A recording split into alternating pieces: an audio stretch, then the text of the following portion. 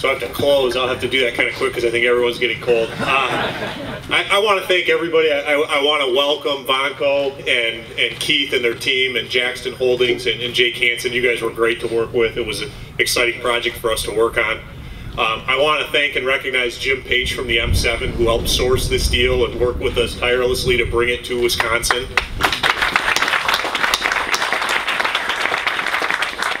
Just a quick story. Uh, Jim and I walked out of our, our first initial meeting with Vonco where we learned a little bit about their expansion plans and some of their site selection considerations.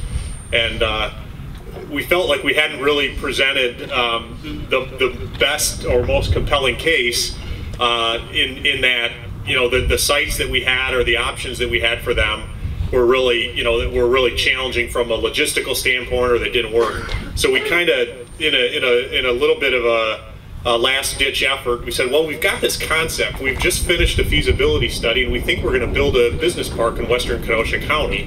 What would you guys think about that? And, and felt like there was a little bit of momentum for that, uh, but a lot of work needed to be done in a very short period of time to make that happen. So we called on our partners, Kenosha County, the town of Salem. We advanced the, the concept of the business park. We knew that it was a winner if we could pull it off. Um, and so I want to thank the, the town of Salem and their leadership for investing in this park, the county for investing with us to do this park, Heather and our, and our team for kind of driving the feasibility study that ended up here.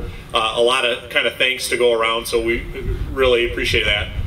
Once we had the park and the infrastructure in and the investment, uh, we really needed to secure tenants and investment in the park.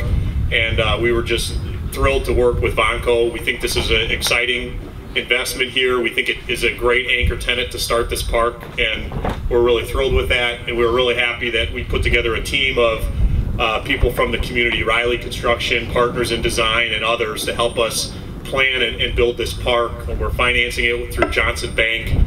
Uh, and we're just we're really excited about this. We think this is the start of something great out here at this business park. And thank all of you for being here. We're glad to celebrate today. Thank you.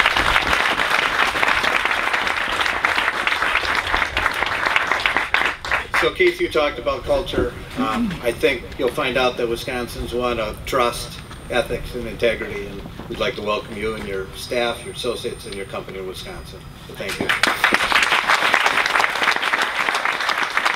We're just about done. Um, all these individuals and leaders will be available for any questions that you might have, but right now we'd like to toss a little dirt around, so if you would join us over there, thank you. Thank you for coming today.